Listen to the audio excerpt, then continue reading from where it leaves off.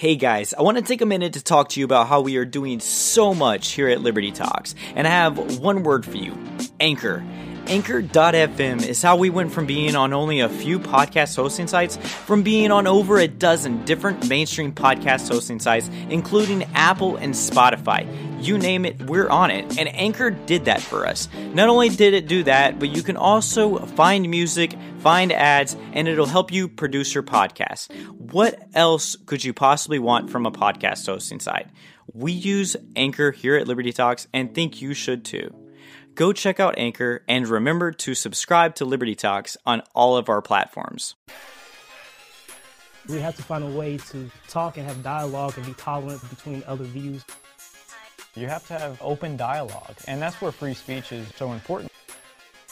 Consent's a very important thing, and today in the Me Too movement, it's been very important because I think it's really opened up a lot of eyes. Cannabis is a healing herb. We as the people, we need to stand up and make a move.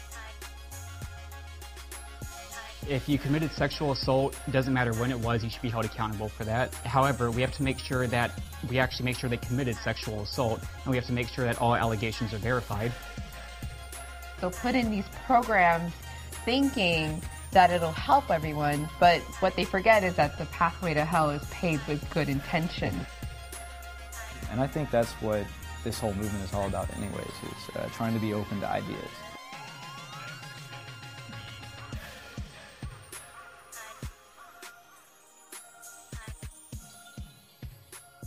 Welcome to Liberty Talks podcast with John Douglas, and today we have a very special guest, Mr. Marco Roberts from Log Cabin Republicans. Marco, thanks so much for being here. Hey, glad to, glad to be here. Thanks for inviting me. Yes, sir. Thank you for coming. So, uh, first, to start off, we're going to be asking Marco some questions about how Republicans can do better and how we can all come together as Republicans and actually start making policies that's based on ideology and not just based on whatever specific law is out there, which uh, we'll get to that. But first, Marco, tell uh, the audience a little bit about yourself for people who don't know you. Well, you know, um, um, uh, I've really uh, started activism a lot when I was in college, like when I was your age. And um, I, I, know you guys are very active. I know you guys have that big free speech speech ball outside, which yes, I hope to sign later.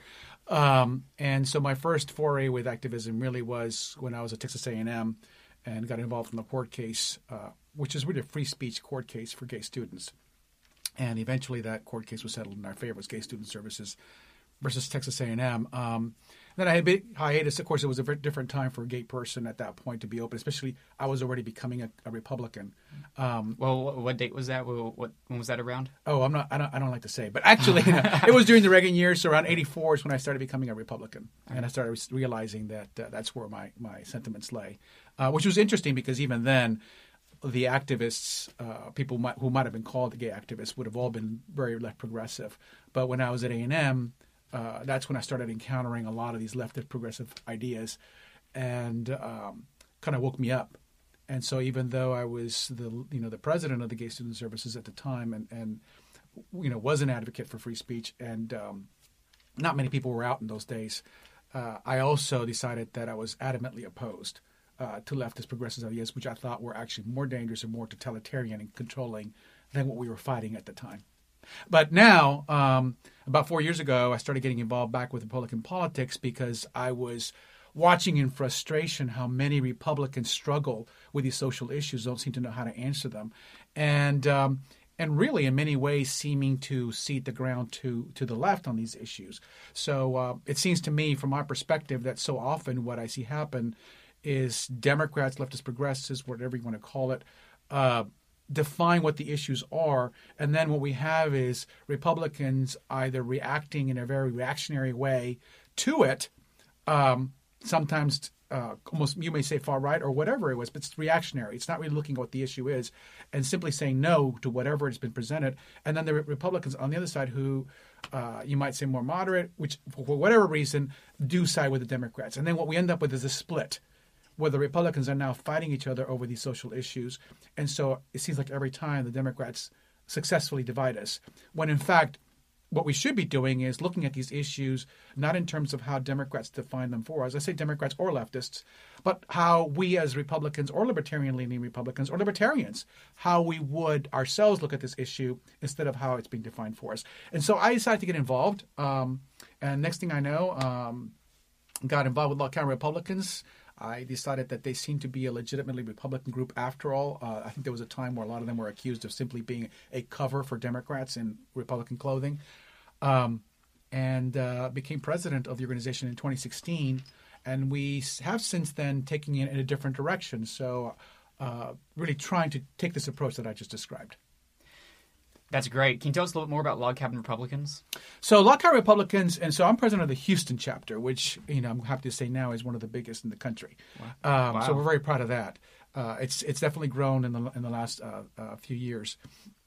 And and I say that as an example. For example, when I first joined, when I first became president of Log Cabin, our annual Lincoln dinner had about 56 attendees, whereas our Lincoln dinner with Dan Crenshaw uh, just uh, a couple of weeks ago uh, at the Sam Houston Hotel downtown, downtown Houston uh, drew 160 uh, folks. Wow. So it's a you know as you can see almost a threefold increase uh, in the span of uh, three and a half years. Um, and um, so Log Cabin Republicans is an organization as a whole that was born in California during, in fact, the, the Reagan years.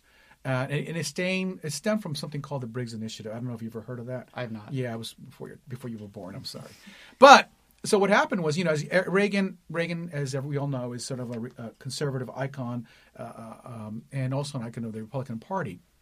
And at the time, he was governor of California, and there had been this initiative that had, had been com- uh, come up with uh, by uh, somebody called Anita Hill, or not, sorry, Anita Bryant. Excuse me, I, sounds like I missed uh, those names mixed up. But um, and what uh, what that initiative did basically was it was going to try to make it illegal for a gay person to be a teacher. Basically a target against homosexuals. Um, it wasn't. I wouldn't call it anti-LGBT because it had nothing to do with trans. It was specifically targeted at gay folks, and um, Reagan came out against it. And basically, he felt that to do something like this would be to start a witch hunt on teachers, and just did not want uh, this kind of thing to happen in the state. And that carried a lot of credibility because he was a conservative Republican by this time, and so um, that encouraged a lot of gay folks at the time who didn't really feel like they have a home that um, to uh, organize in opposition to the Briggs Initiative, encouraged by Reagan, and that's how Log Cabin was formed. So Log Cabin then became this um, uh, organization of Republicans that was primarily advancing uh, the viewpoints of gay Republicans, and it has been that way so for the last 40 years. Now, in more recent times, you know, they've they've uh, uh allowed chapters to be uh, you know create themselves or uh, across the, the country, and so national charters individual chapters as long as we can subscribe to the mission of Cabin Republicans at the national level.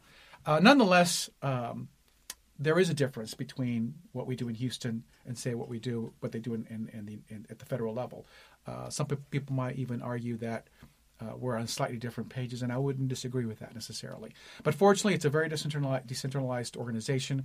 So national really deals with federal issues whereas the local chapters are allowed to deal with local and state issues. So Log Cabin Houston has a lot of discretion on how it wants to approach uh, local ordinances, state laws, uh, who who wants to endorse at a state or, or local level. Uh, that excuse me, that's great. Uh, so, I, as you know, I'm uh, with the Young Americans for Liberty at U of H, and you actually came and gave a speech to us. And I think it was one of the greater speeches I've heard given on campus. I've even hosted people like Dinesh D'Souza, and I thought yours was much better. Oh wow, that's that's a high compliment. I yeah. have to tell him. yeah, you, you, you, should.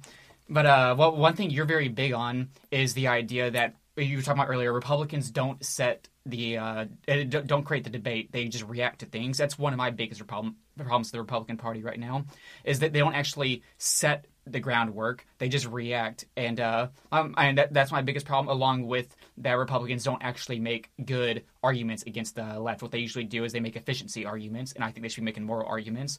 But you gave a speech in which you talked about broccoli, and I've never thought about broccoli more since I've met you.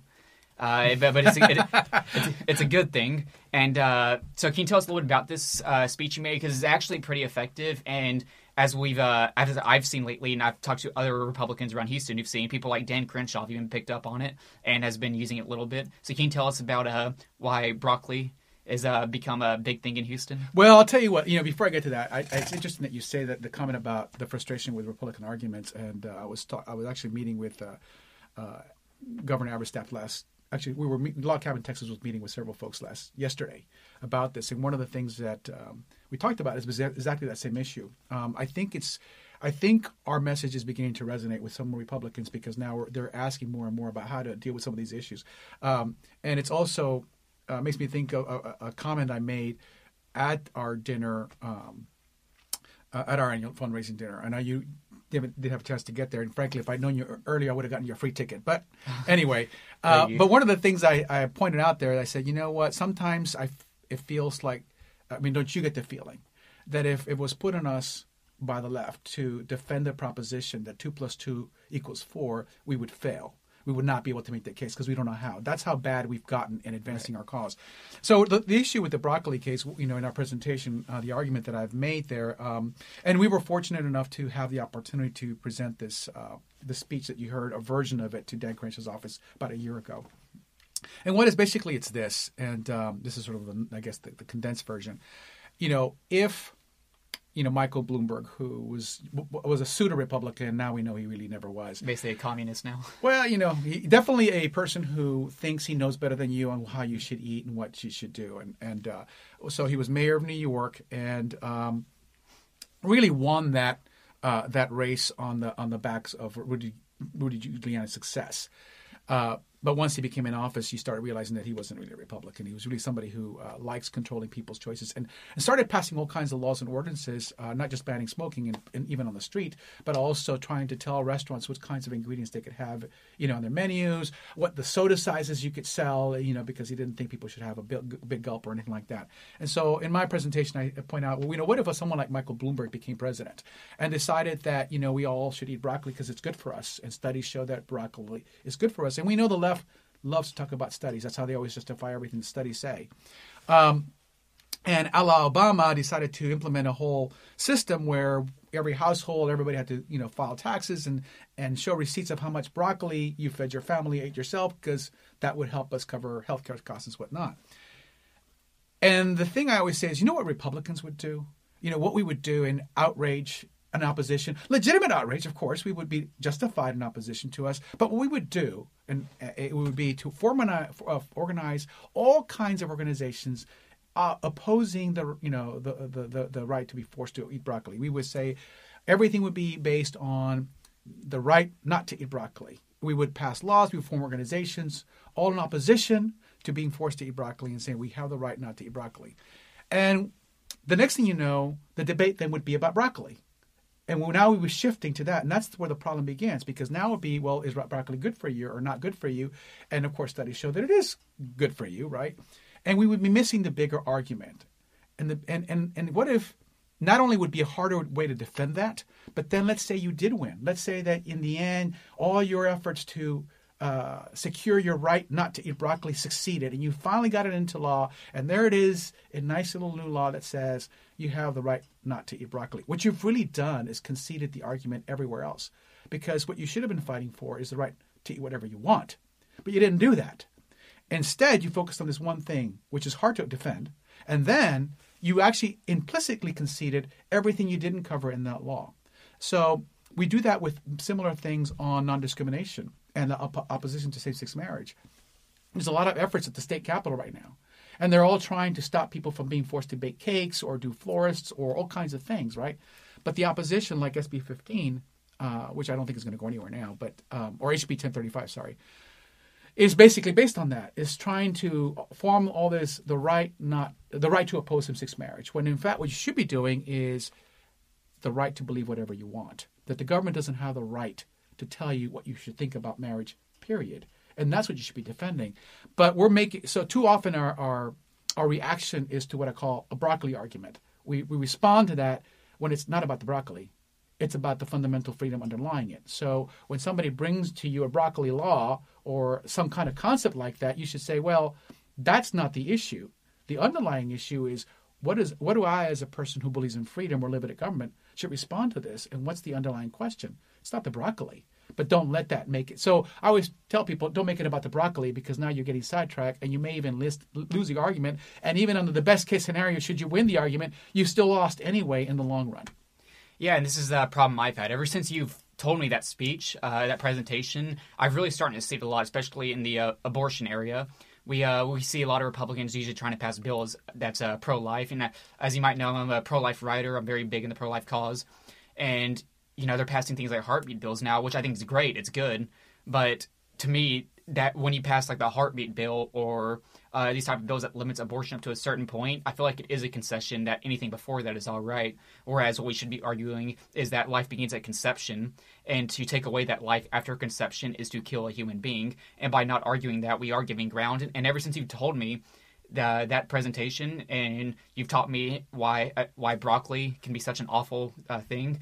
I've, I've really uh, started noticing it around everywhere. I think that that's really effective and something that Republicans should be uh, more aware of. I think that's a concept that should uh, go outside Houston and should become more national in the Republican platform to talk more about the not the issue at hand, but the overarching issue of the right to do something, uh, such as in an abortion case, the right to life, whereas not the right to life up to this point, but the right to life from conception. And I think it's very effective in making Republicans see that.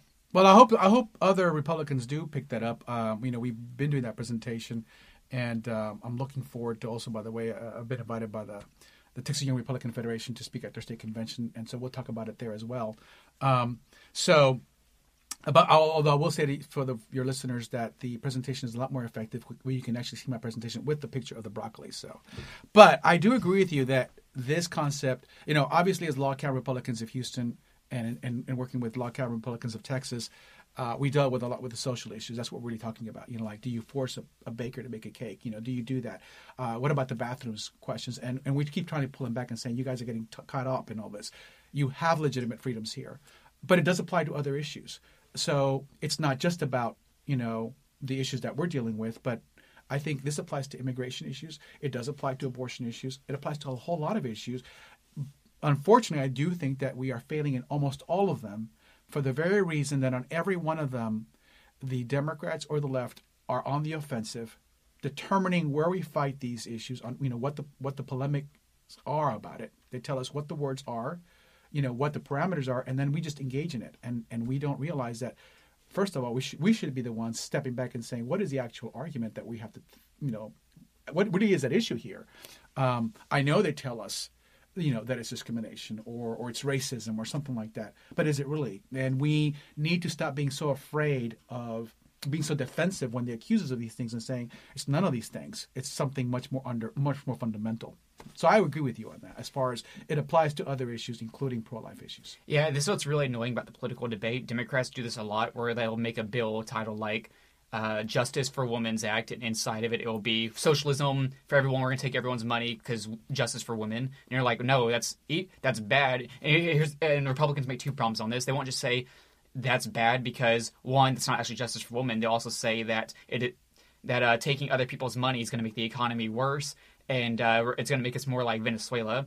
Whereas that efficiency argument isn't good enough because now you're basically because now Democrats get to say, why aren't you willing to give up some of your money uh, for to make women live better. Well, what's interesting about the efficiency argument is that the Democrats never believe in that efficiency argument when it goes against them. So you know we have to be willing to always be more consistent on that because this this it's not just about efficiency, but it's about principles. Right. Right. Um, you know, Democrats would never agree to give on a principle, even if it's just more efficient to do so. And so why should we? That's the thing that gets us. So, but again, it's an example of we take the bait. They gave us a parameter, and then we feel compelled to defend every single little bit. And going, it's kind of like somebody launching, you know, fireballs at you, right. and all you do is keep trying to hose every single fireball that lands instead of hitting the launching pad. That's what you should hit. Otherwise, you're going to spend your time constantly going around like a like the you know like the fire brigade uh, brigade trying to uh, stop all these fires. You'll never finish because they just keep launching them at you. So, um, yes, I, I I think that it's one of these things where we really need the Republicans to step back. And and I would say an example of that continues to be obviously of interest to me. For example, this whole issue of um, uh, you know the, I talk about the cake and I had the opportunity to author a uh, an op-ed with Susanna Dokupil in the Houston Chronicle last summer regarding the you know the Masterpiece Cakeshop decision. I don't know if you had a familiar with the case. Yeah, I've I've written a lot of articles about it. Oh, okay, cool. Uh, so well, I've only got the one. Sorry, but. Um, I'm sure yours is better than mine. Well, I don't know, but it was, you know, it, I did, it did, I did, we did get it through the Chronicle. I don't know how, but it's on there. And, um, but what it, it's trying to explain to people, you know, people often ask me, you know, how can I, as a gay person, defend someone's right not to bake a cake. You know, how can I do that? I say, well, because I wouldn't want to be forced to do something against my will either. And then they ask, well, how, where do you draw the line? How do you, you know, do you want, are you for discrimination? And this is, of course, the question that traps Republicans and some libertarians as well all the time. Even last night, I was watching Fox News, and they get, again, they talk about discrimination, and They're scared of that word. they're scared of that word, and they freeze, and they don't know how to how to defend it. And Mike Pence, of course, he lost his presidential aspirations precisely because he couldn't answer that question when he was on TV with George Stephanopoulos trying to defend his Religious Freedom Restoration Act. And again, that's what I would call a broccoli law. Its intention is right. It's trying to protect something legitimate, but it's doing it so specifically that it got caught up in the broccoli and, of course, became easy to attack. Um, and because he couldn't answer that question, he, as we know, is not president, and we have somebody else. And it's one of those areas where we need to get Republicans more aware of how to get to the underlying issue. In the case of the uh, cake bakers, florists, folks like that, when they say, Where do you draw the line? I always say, You draw it where the Civil Rights Act drew it 50 years ago and has done very well for that time. We haven't had any issues. It's only since these new laws, that's what people don't understand. These new laws that are being crafted are not like the old ones. You know, when HERO was being passed in Houston when you were probably still in high school, um, um, that law was often portrayed by the left and even some folks on our side as nothing more than the civil rights at the local level. But it really was not true. It actually changed a whole lot of things and expanded the definition of public accommodations to mean practically anything that moved, which is unfair. Um, and, it, and started using issues of non discrimination as a way to chip away at free speech, First Amendment rights, and property rights. And that's kind of a danger. So, one of the things that I'm very big on, uh, because even though I'm Republican, I'm also very libertarian leaning, which is why I like you guys, you know. Uh, so I always call myself a libertarian leaning Republican. Uh, because I am concerned and I do not appreciate people taking non discrimination issues that are legitimate as a way to diminish a right that's even more important and more fundamental, which is the First Amendment right and your property rights, and the right to decide to what you're going to put your hands and mind to work. It, here's the thing that bothers me about Republicans when it comes to discrimination. They're so scared of that word, except discrimination isn't actually a bad thing. There's three types of discrimination. Uh, I can't remember the names for it, but there's a discrimination we don't like where you are object you are saying that's a person I don't like because of X quality, therefore I'm going to discriminate against that person. That's the bad type of discrimination. The other two types of discrimination, uh, discrimination aren't so bad. In fact, one of them is actually good. So the second type of discrimination is whenever let's say the government says that you are not allowed to look at someone's criminal history or do a background check on them because we might view that as racist. So you're a business owner, you want to hire someone. Well, now since they can't do a background check on you, they're going to be less likely to hire black people because on average the black community has higher crime rates and that disproportionately affects black people even worse now because they're being discriminated against uh, in their jobs because the government is making it where you can't access individual information. So that one's not bad on the business owner, that one's bad on the government. The business owner is just using what information he has to make a judgment. And then there's the third type of discrimination, which is actually good, is the discrimination we use in our day to day lives. Like if you want to drink water or orange juice, well, if you choose water, you discriminate against orange juice. And it goes even so far as who do you want your partner to be in life? You're uh, like I have a fiance. Uh, by having a fiance, I've now discriminated against every single woman in the entire world because I've said that this woman I'm with is superior to all the other ones, and um, and this is something that Republicans need to get a hold of. Not all discrimination is bad in that way, and where the Democrats are going wrong is they actually are saying all those types of discrimination uh, uh, discrimination is bad, all three types. And have you read the book Brave New World? Oh, yes. Yeah, and you actually that, that's kind of in some parts it's what the book is about. That any type of discrimination is bad, and you see that in this intersectional society we have that where you're allowed to have any partner you want, and you talked about this with the LGBT stuff, how the T is in complete conflict with the LGB because well, what you're essentially saying is that if you are gay but won't be the transgender person, then that makes you transphobic, even though you're part of the LGBT movement. You see, it eats itself, and that's something that Brave New World shows that uh, once you get to that point, then all types of discrimination becomes bad, and therefore you have to be with everyone. Even the good type of discrimination, which our society relies on, becomes bad, and that's bad for society. So, uh, uh, where do you fall into that? Do you uh, do you uh, think there should be a line drawn where discrimination is bad and where discrimination is good? I think you know it's interesting. You can actually you, know, you, you can always do my presentation. Uh, so, but um, I think you you raise a very important point and it's all about what does non what does discrimination actually mean. And I think what the left has been very successful at doing is is infusing the word discrimination with an emotion, which unfortunately too many Republicans share. And so, and I hear too many people when as soon as they hear the word discrimination, it's almost like uh, light turns off. And now it's simply of how do I avoid being discriminatory, regardless of the fact whether discrimination in this case is legitimate or not. And you make an excellent point, as I do in my presentations, as you know, um, which is to emphasize to folks that discrimination is nothing more than discernment. And we don't say discernment is bad. Uh, we sometimes think discernment is good. All the Civil Rights Act intended to do back before discrimination became a, uh, you know, a, a word that triggered people was to tell the difference. And all it meant to do is when is it okay to tell the difference or make a distinction and when is it not? That's all.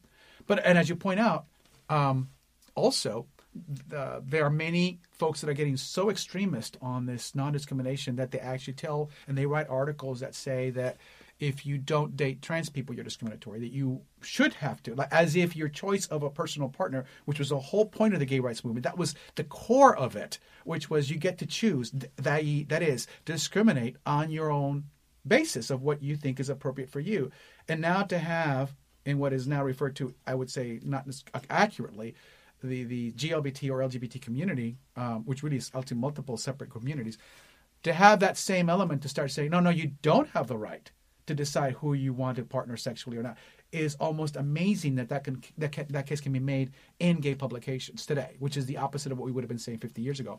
And again, it comes back down to what is discrimination. And as you point out, in law we have m- many favorable discrimination. In other words, we discriminate in favor of veterans. We discriminate in favor of uh, people under certain conditions, or we discriminate in favor of people with medical situations that are unique. And one of the things that has happened, in particular with the trans issue, which sometimes is lumped as an LGBT issue, but again, as you point out, I, I just say it's a different issue because what what, what trans issues are, are, not the same as gay issues. They have nothing to do with each other. They are uh, the only commonality is that they're minority issue, but other than that, and we are not able to even respond accurately to laws that are coming on the books now, like in California, already in Canada, where uttering words is now a crime. That has happened. So in Canada recently, there was a court decision where a candidate for office was literally found guilty of a crime for using words biological male. That's unheard of. We in our country, California passed recently a law that does the same thing for medical professionals in their service. And feelings, personal feelings aside, do you realize that in our country even the N word is not illegal? It's not a crime. Yeah. We don't make racism a crime for a reason. And, and I always point out to people racism is not a crime in our country for a reason. Because the moment you make it a crime, that means now the government gets to decide what, what qualifies. And as you know, as you hear our folks talk, a lot of people call a lot of things racism. So who gets to decide that? And next thing you know, speech now becomes a test for the government to decide, well, what's acceptable? And we, we, we reject that. But we still don't have Republicans able to articulate that very simple point. So um, uh, when it comes to trans issues, let's give you an example. People say, well, just to show you how uh, uh, how weird this has gotten, how how totally uh, upside down the term has become. They'll say, well, you shouldn't discriminate um, against trans people in bathrooms. Well, we don't. That's the point. The issue isn't discrimination or uh, against trans people. It's the fact that we don't discriminate against trans people. The real question today is on what basis should we discriminate in cases of restrooms and team sports, which is now is becoming, as you know, Martina Materton, uh, uh, uh, can't remember her last name. I don't want to say it wrong, but a big former gay activist, uh, tennis star, was had a big Wall Street Journal uh, editorial on this issue about whether you know people who are biologically male should compete against women, and it puts into question the whole idea of why did we have this segregation of team sports in, the, in this first place, which is, is allowed by the Civil Rights Act. The Civil Rights Act specifically says we can segregate restrooms and team sports and locker rooms all by sex. Yeah. By the way, she's now persona non grata to the left. Well, she is now, um, but uh, but she's definitely a, a, voice that is hard to you know, when you read what she has to say, she's raising some questions on this. And even some trans activists are admitting that this is an issue that needs to be discussed, more conservative ones. And the few trans activists that will admit that this is not as easy as it seems get pilloried by other trans folks. You know, they can't. They get attacked very harshly. In fact, I was talking to a trans person last night about that very issue that made them Republican. They said oh, they became Republican when they opposed one item on the you know so-called LGBT agenda and got uh, an extreme response, and then said after six months it opened their eyes to where the real oppression is coming from. So, and so the issue really is, and the question that I bring to folks is the issue of transsexuality and transgenderism is being used to shut free speech down. We can't let that happen. Uh, we can talk about legitimate issues, but then we have to, as Republicans, as, uh, identify what the question is and simply say, well, I don't want to be against discrimination against trans, so I'll just agree to whatever. And some other Republicans, which I don't, don't agree with what you're doing, immediately oppose whatever you're doing, which was happening in our schools. Um, and instead say, well, wait a second, that's not the question. The question is, how do we segregate? It's not about non discrimination we are going to discriminate because trans activists are not saying don't discriminate. I mean, they're saying that, but that's not what they mean, right? Um, what we really mean is how do we discriminate, segregate restrooms and team sports? How is it fair? And when is it fair to do it by someone's emotional declaration or statement versus a biological uh, fact? And um, we should be able to ask that question and address it. Uh, the other thing that, uh, and I think if you do that, people start responding, I'll say, "Oh, I, I now I understand what the question is." Um, you know, one of the things that makes me upset, for example, is someone says, "Well, um, does a person um, have the same right? For example, do you, John, have the right to enter a, a women's bathroom today?" No. But why not? Don't you get to decide just like a trans person does? Well, I'd say I'm discriminated against. That's correct. Currently, uh, if we follow the trans uh, the gender ideology, which is really not trans, it's really a gender ideology. If we go by their argument that you're discriminating against trans people, well, actually, it's the opposite. You're saying trans should be able to make any choice they want, but the rest of us shouldn't. Well, that's not the same. So that's actually discriminatory.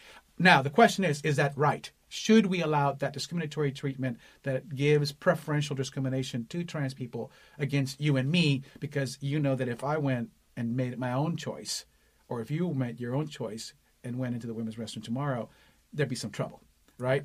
Um, and it's not unreasonable to ask do we deal with these issues with trans as the way we deal with race, where we don't have any discrimination at all allowed? Probably the answer is no, because that obviously, you know, as we've already discussed, that's not going to work.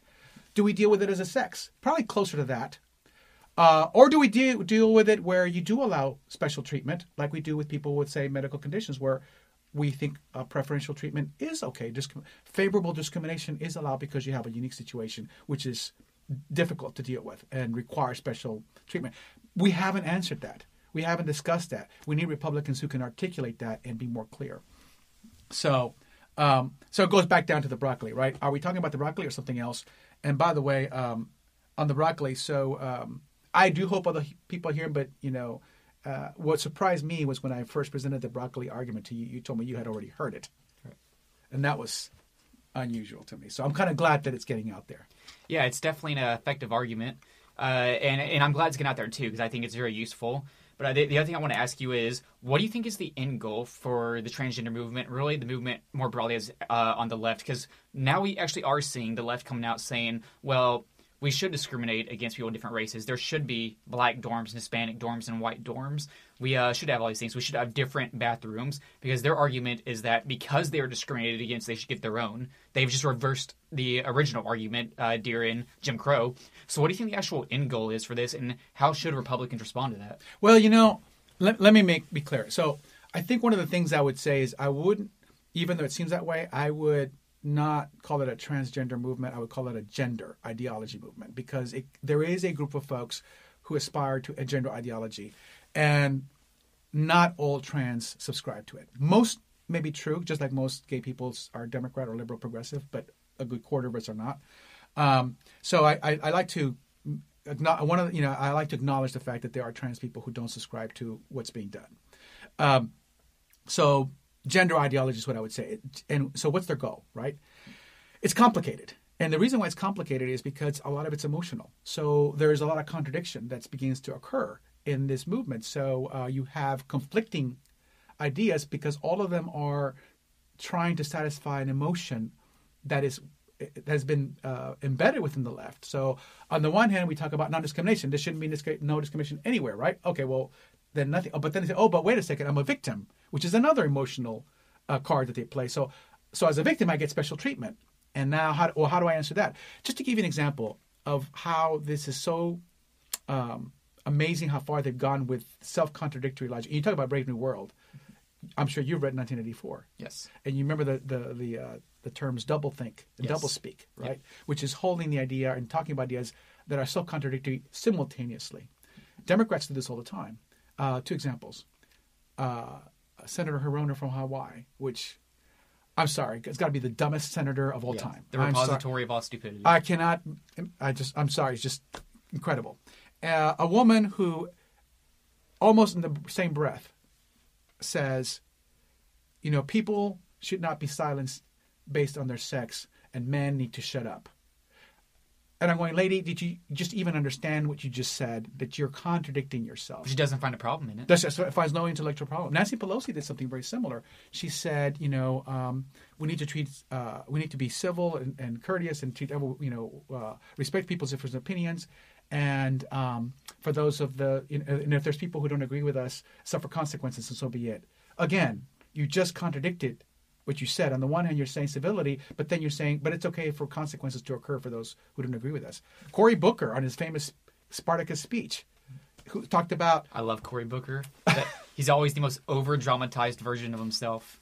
He really is. And I love the way he talked about, and in the name of comedy and, and fostering reconciliation, I'm going to call you all names and storm out of this room. Like, do you realize what you're doing? I mean, mm-hmm. you're saying your whole speech is about uniting, and I want to unite us and, and make this about reconciliation.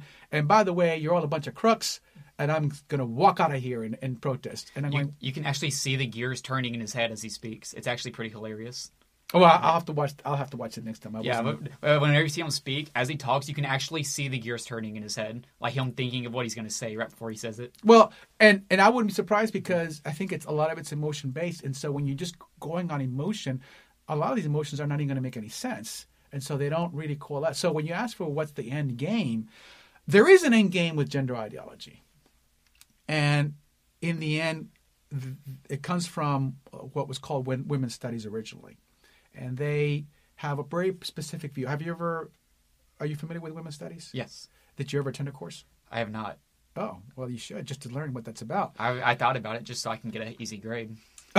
Well, I don't know if it'd be easy because they might just give you enough just because of who you are and what you mm-hmm. say.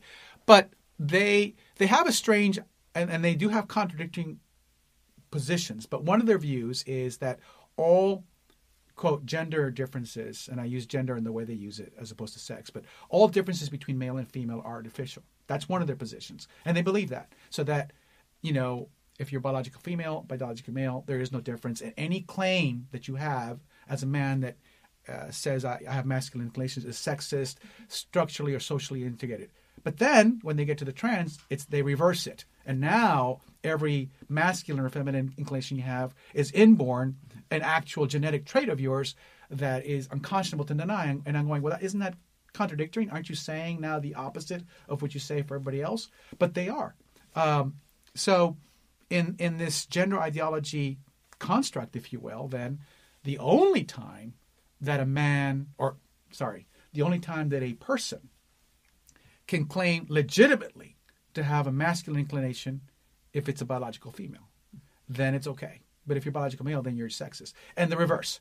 Um, what's their goal? I think the goal is an emotional satisfaction. Something, something about these folks when you start looking at them is like, well, since your ideas don't make any sense and they're contradicting, clearly there's an emotional co- component. There's something you're trying to satisfy in yourself, and I think in some sort of self-esteem thing, I, I, I think that there's some folks in there who look at the world and they feel somehow marginalized by it. Maybe some of it's legitimate, maybe some of it's self-provoked, whatever it is, but they're working very hard uh, at trying to somehow make the world in their own image of what they think it should be.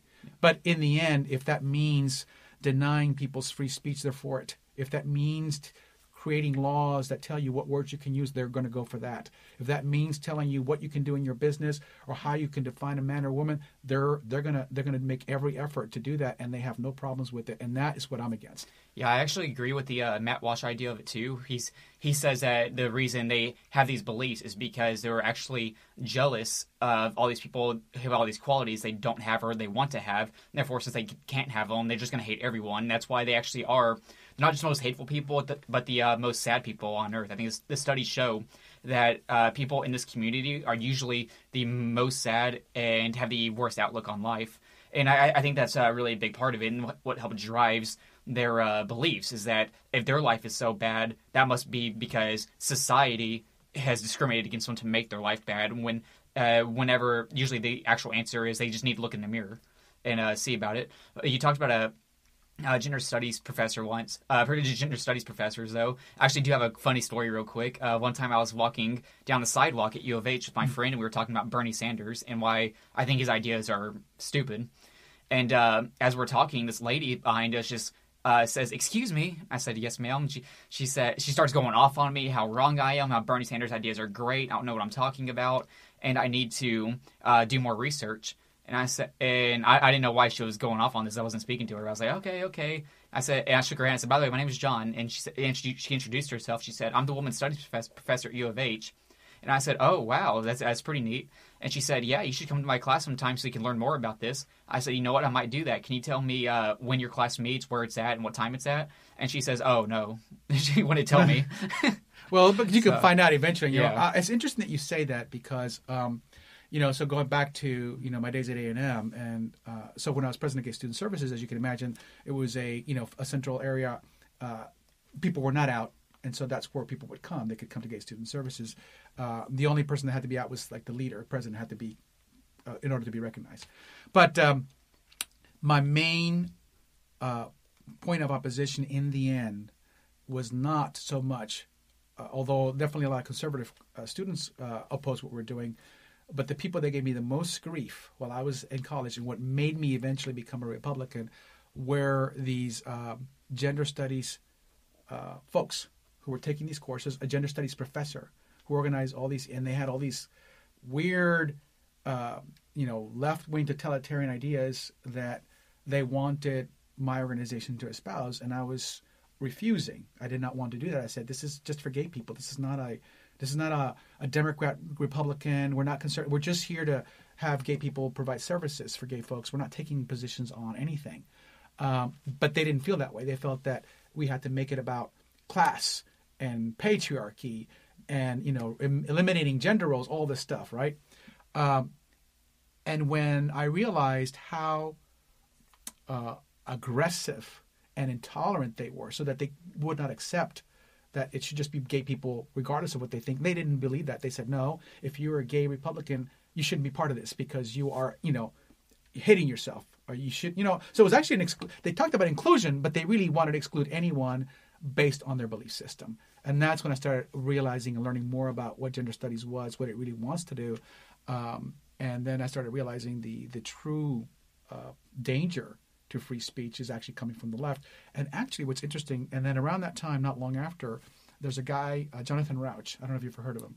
I, I, I'm not familiar. He was uh, a gay Jewish writer from uh, the early '80s, and he still, I think, writes. Uh, he still writes, but uh, he intrigued me because he wrote this little book called "The uh, Kindly Inquisitors: uh, the, the New Attacks on Free Thought," and he talked about the the main, the four different uh, areas from where free spot, uh, free speech is attacked. He mentioned, of course, fundamental re- religion is is one of them, but he also pointed out that the left is the new the new danger, and this was back in the '80s. And so I think what his prediction came in terms of where the new attacks on free thinking and free speech were going to come from have borne out to be true. And I had read his book in in in, in perspective what I had just experienced and who were the people who were most adamant at making sure I, anybody who disagreed with them couldn't have a, have a say were people coming from the gender studies programs. Yeah, and it's uh, really sad. And I, I, I kind of realized that day that she wasn't interested in conversation with me. She didn't actually want me to come to her class. She just wanted her to be right. And uh, this is a broader problem on the left, and uh, it's actually a good segue into the other thing I want to talk about.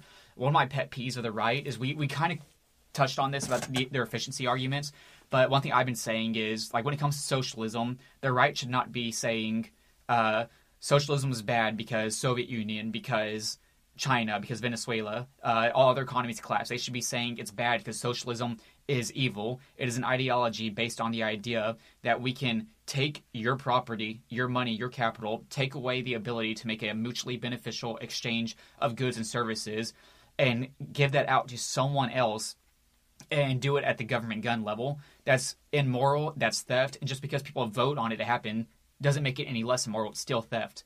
And that's an argument I think the Republicans should be making because when I, what I see is whenever they make the efficiency arguments that we do, we shouldn't adopt socialism because then we'll become like Venezuela. Well, then all the left has to say is why aren't you willing to give up some of your money to help other people? Well, that makes you a bad person. And I think that's really effective with the um, with the millennials and Gen Z because uh, on average, younger people are much more interested in the mor- in morality. That's why they hate Trump so much. Uh, g- generally, why Trump's approval ratings are always in the tank with them because they see Trump as a not a good person, as an immoral guy. Uh, whereas the older generation, you know, they went through Bill Clinton and everything, so they see him with his policies, and they say, well, his policies are good, therefore I don't care about his character. And uh, so, what, how do you feel about that? Do you think Republicans should be more focused on these morality arguments, on right and wrong arguments, over arguments such as efficiency? Well, you know, when you talk about morality, it gets kind of tricky because there's all kinds of moralities. You know, you talk about social morality, then of course, there's sexual morality, um, ethics, all these things. And um, but I do agree with you in the sense that um, I tend to talk about principles. You know, because if you talk about more, so morals Yes, of course, and and in the end, the the law has a moral component to it. You know, we've always talked about that, and, and why, for example, we have laws against killing, you know, torturing animals. There's no practical human effect to us, but we we can see that that's just fundamentally wrong, and we won't do it. Um, excuse me, the um, but uh, I agree with you. In fact, uh, we got two planks that we've added to the state party platform, 304 and 310 and they even though they talk about these issues they also talk about this other element about socialism because it goes back to the core issue. Who is the rightful owner of the product? Who is the first person who gets to have a say into what i do with my hands what i do with my mind? And and the result of that you know where does it go? And is it somebody else somebody owns me? Because fundamentally if we can focus on that and socialism of course starts answering the question as well no you don't own yourself you don't own the result of your own labor, which is exactly the opposite of what John Locke and all the Enlightenment thinkers were trying to tell us that we became free as a result of what they were talking about the natural law. That you know, a man and a woman, they are the first owners of themselves, not the state, not the church. Nobody else owns you but yourself. Now we form a compact with each other. We form an agreement. Um, but what's always scary is how many people are willing to start then saying, well, you know, now that we've agreed to this social compact on how we get, get along with each other, I want to start surrendering my ownership of myself to that state so that it can determine how I should spend my money, where should I, where should it go. I think we do need to make that intellectual argument more often. I, I did remember Dan Crenshaw made a great uh, speech on it uh, at our Lincoln dinner um, and I think we need to have more Republicans to make that maybe more, you know, in, in, in snippets that can be presented in the media very easily, but to really educate because clearly what's happening, especially with millennials, is there is a lack of of the concept of what do you really mean by socialism? Do you understand where the money comes from? Do you realize that to do what you're doing, you've got to take it from somebody against their will because you're not giving them the choice. Even if they're willing to do it, it's still not a choice, right? Uh, so yes, we we as Republicans need to start coming up with ways to constantly remind people as to why we're against socialism, and it can't just be the efficiency argument. Because if you, it actually, and it's another excellent point. If you make it about the efficiency argument, you'll never really win anyway. It's like broccoli. Once again, studies show, studies show, and people will t- name all kinds of studies. Half of them are bogus anyway. And you have El Venezuela already. Does it change anybody's mind? No. So there's your efficiency argument right there. It makes no difference. So you really got to go to something more deeper. Because that, that wasn't real socialism, and they're always going to be able to say right. that because there's something went wrong. For some reason, they went wrong. Maybe Maduro's just a bad person, but we're good people. Therefore, we'll do it right. Exactly, and that is what they've been saying uh, for the last hundred years. There's even though it's it's never worked, and every poss. And what's interesting is this socialist experiment has been tried actually more than any other experiment in all kinds of cultures. We've even had the chance to see it work in three different countries, divided in two. So that no, you can even you couldn't even argue. Oh well, it's a different country. Okay, well we had three different countries where we split it in half, and we had half of it go so you know socialist or communist, and half of it not. How did that work out? In every instance, and you say, well, you can't even say that it was part of the same uh, culture. No, because one was in Germany, then we had Vietnam, and then North Korea. Very different societies, all of them, and yet in every case, same result. It never, never changes. And yes, that doesn't matter because it, you could you could come up with a million efficiency arguments. They'll never work. Uh, except for some reasonable people, yes, reasonable people will look at it. But for these other folks that are enthusiastic about it, it's really again once it comes to an emotional argument and an argument about principle, fundamentals, and the moral idea. Do who has the ultimate right over what you make when you when you go to work and you make that product? Doesn't the person who pers- the first person who's entitled to the right result is you and your family? Right, and uh, to take it even further, if something infringes on your rights to life, liberty, and property, then that is evil in of itself because these are rights given to you by God and by a creator. And I can get into religious arguments and all that, but I but I, I believe that if you don't believe your rights come from a higher power, then you cannot expect to actually have those rights in any serious way. And so, what these uh, uh, communist powers did of the um, 20th century, like the Soviet Union, North Korea, East Germany, uh, Venezuela, things like that, is they they had a belief that if they can create a greater society, then that means that people will either two things: they're tools to get there, or they're just obstacles. And therefore, since they're obstacles in our way to greatness, we can run we can run roughshod over them, which is why there's been serious human toll uh, in these socialist countries. And you see, even the socialists in America believe that today. Part of their that's why they believe in censorship, uh, censorship so much. They believe that people on the right are obstacles, uh, not tools to get there. Therefore, we should cut them out of the public debate. And by doing that, you've now dehumanized those people. And in the Soviet Union, you had 20 million dead. I think in uh, Ch- China, I think is around 100 million. Uh, the Great Leap Forward. Uh, North Korea is a giant gulag state. In Venezuela, they're eating dogs. But that's not seen as a bad thing. That's seen as just peop- uh, obstacles you have to overcome to, uh, to to that paradise, to that utopia. And this is, I think, Republicans need to make more arguments like this. It's evil to run roughshod over people because they might be an obstacle to your plan because they have the same rights that you do. And I just don't see that argument being made that much. I'm seeing it being made more now. I think the new Republicans that's been elected are making those arguments much more than the old guard. But I still think we need to do a better job at it. Now, uh, what's I find that interesting that you say that because I mean, Young Americans for Liberty, um, that's a libertarian group, and I know the libertarians attract a lot of atheists. So, I, I- I mean, I know you're the interviewer, but I'm just curious. In your group, don't you have some atheists in your group? Uh, y- yes, we do. I'm actually a conservative. I'm I'm the VP of Oh, okay. my, my group, uh, but I, I'm a conservative, and I uh, I uh, highly believe that in order to have a functioning society and a base for that, you have to have a set of values based on a higher power. I actually plan on writing a uh, book soon about why you cannot have a society uh, that's based on uh, society or humanity alone. Why there has to be a higher power to get there.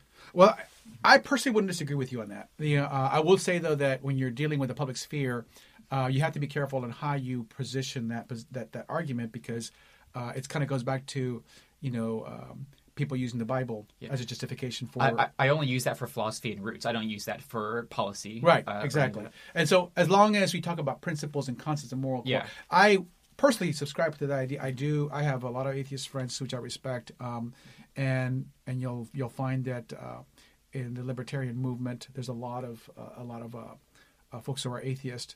Uh, some are agnostic atheists, which is different than it, um, you know, an atheist atheist, I guess. Um, most of my friends are actually what I call agnostic atheists. But um, so when you're do, when you're making these arguments, you have to make sure that you're talking from your pers- own perspective. But I agree with you that um, I, as a as a matter as a matter of my personal opinion, I do I would say that um, I cannot. It's very hard to defend natural right without explaining where it comes from and why another human does not have the right or the the moral right to, um, uh, uh, you know, or subdue it. It's just there is no, you know, and this is a, a discussion that you know it's gone on for hundreds of years, especially in the in the 20th century with Bertrand Russell and Nietzsche. And, where does morality come from? Right? Can morality really exist without a higher power? And a lot of people say it cannot. Um, I'm one of those folks that tends to agree with that. But I understand that there's atheists who have a different opinion. Right, and that's why I want to tackle those arguments. But I think in the end, uh, you see these uh, powers of the 20th century, these uh, evil powers, these, these communist powers. You see that once they, uh, well, a big part of uh, socialism and communism itself is the idea that the structure that built our society is the problem in of itself. Therefore, if you get rid of the entire thing, you can create a grand society. And clearly, that's failed every time. I think the reason that's failed every time is because it has an atheistic sense to it that uh, rights do come from government, and that if humanity is good at its nature, therefore we can all band together and try to make something great, which is actually which is, which is exactly what Robespierre said, the French Revolution, and uh, it's exactly what the uh, the Soviets thought, and you see a lot of heads got chopped off uh, uh, because of that. And so that's why I think by having an actual system based on an idea, uh, I, I like I, Ayn Rand's Ayn Rand. idea of um, uh, oh, not, not- I, I just forgot what, what it was.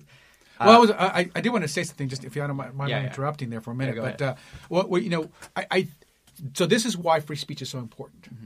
Uh, no doubt, our, our country. You know, when you talk about the fundamental how it was established, the Declaration of Independence tells us specifically where where our founders thought our rights came from, and we we we have to recognize that it was in that framework, in that context of mind, that's where this whole idea of uh, the, even the idea of natural rights it comes from something that's been given to you from a higher power, and that's why nobody else can so do it. Now, we understand people are going to argue against it, but that's why it's so important to make sure that you know if we have confidence in, in free speech and discourse as long as people are educated and are able to exercise that um, that right. And so the first duty of, of each of us is to make sure that, that your your ability to make that case continues on, and nobody tries to um, find a way. Because I do think that in the end, um, if you're right, you'll win. And if the, if the contest remains open, if free speech remains continues the way it has for the last 200 years, and I think generally for the most part, America's done a pretty good job in letting people have their say. That's how things have changed, right? Right. And um, uh, so I would say that's the first order of business, and that's an order of business that even atheists can agree with, right? And then let them make the case. Let them make the case that they think it's something else. I would agree with you, though. I- you know, in that debate, if I entered that debate, then I would say I, I think we make a mistake if we start denying the basis of the Declaration of Independence. I think that is an important debate to be had now because uh, usually I don't believe in making religious arguments for policy issues, but I think the argument has shifted now to what is our society, what who are we as a people, and what it should be our goals in life. And I think that those on the left are trying to redefine that. And I think that's very bad for society. So if there ever is a time to argue that, I think it's now. And it should be argued on those levels of roots and structure, but not on the, the policy level. I think policy level should have practical implications within uh, the rights of man. But when you have to explain where those rights come from, because, you know, the left says now things like free speech in of itself is bad and dangerous. Of course. And uh, I, I think once you get to that point, you have to start arguing for the roots. Uh, and the I think the proper roots to argue about that is that those roots do come from a higher power and a structure that's based on the ideas of that higher power. I would agree with you that um, any person, um, Republicans who believe that, should be making that case and should not shy away from it. Um, I don't, and the only you know all, my only caveat is just do it with respect. Make sure that you respect folks and you're not insulting anybody, particularly atheists. I, whenever I speak to people, um, I will not mince words on what I what I'm what I want to say, and what I believe, um, but I want to recognize that not everyone agrees with what I'm saying. I agree with what you're saying, though, John. I think too many Republicans who have these views that you and I have are afraid to say so because they think they're going to insult somebody. Going, I don't think you're not going to insult an intelligent atheist, atheist on this if if you're smart about it, if you're civil and you make your case because they're going to make their case too. Don't be shy about it and do not let the left intimidate you from making that case. Arguing what you just did, arguing for the case for a higher power as being the, the resource of that is not a racist comment. It is not anti anyone. It is not even anti atheist. It's simply advancing your convictions of what you think is true and important and that people should know. We we do need to more, have more Republicans to be willing to say that, and nothing bad is going to come. Uh, no one's going to be hurt, and nothing bad is going to happen from that just because you made a case like the one you just made. Uh, thank you so much. Uh, I'll give you the last word. Do you have anything to say to our audience before we go? Uh, yes, um, visit at, at logcabinhouston.org. And um, Uh, for those of you who are Texas, uh, Texas Young uh, Republicans, I hope to see you guys in October. Look forward to seeing you there. Um, feel free to chant my name if you want to. I'm just kidding. I'll, Uh, I'll leave the chant. thank you. But uh, thanks, no, uh, very much. Thank you for for the discussion, John. Uh, I appreciate it, and I had a lot of fun tonight. But thank you. And where can people find you? Uh, well, you know, I don't have a personal page, uh, but they can. I accept all kinds of Facebook requests from people that if I see that you're legit, because I get some weird ones too, you know. Um, but uh, I would like to connect on Facebook with anybody who is share-minded and agrees with what we're doing here. So on Facebook, I'm Marco Antonio Roberts. You can find me through Log Cabin uh, Houston uh, as well, uh, but it's easier through my Facebook page. Yes, sir. Well, thank you so much for coming on. Thanks, John. I appreciate it. I'm John Douglas. That was Marco Roberts, and we'll see you back here next week on Liberty Talks Podcast.